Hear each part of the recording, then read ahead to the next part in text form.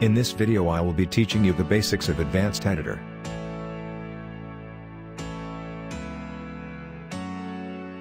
When you open Advanced Editor, you can see three tabs, Spherical Manip, Move Spline Node, and Rotate Spline Node. I will be looking at their difference later in the video.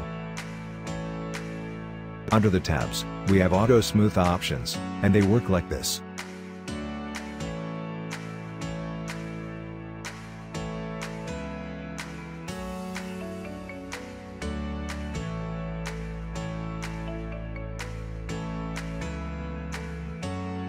Snap length and rotate works like this.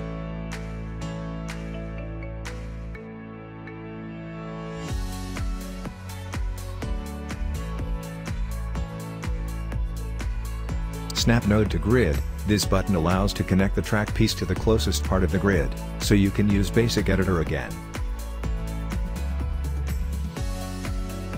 On the right, we have track feature settings, that just change the track when building, normal, brakes, chain lift, etc. Then we have the building button that builds the track. By pressing the reset node button, the track will reset back to its original two blocks long straight form.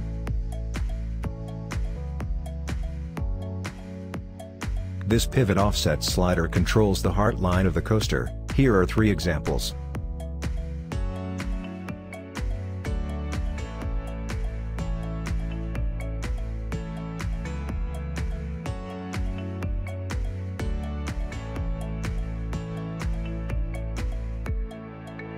Okay, back to the three tabs, they all do mostly the same thing, but in a different way, but in all of the tabs, you move the track by dragging the colored spheres or wide arrows.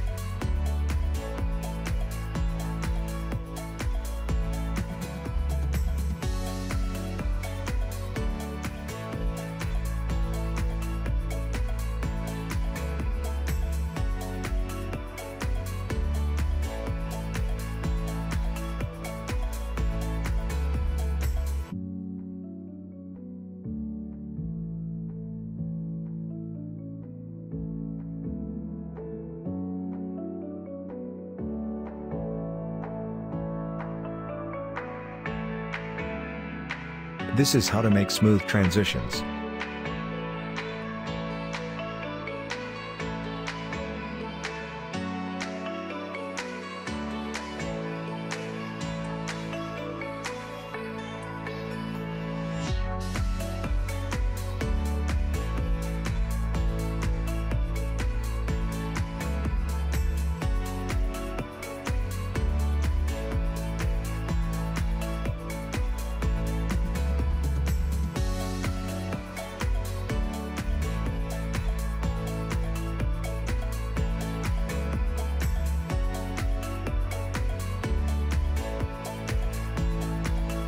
There is two ways to make inversions, if you are new, I would recommend the first one,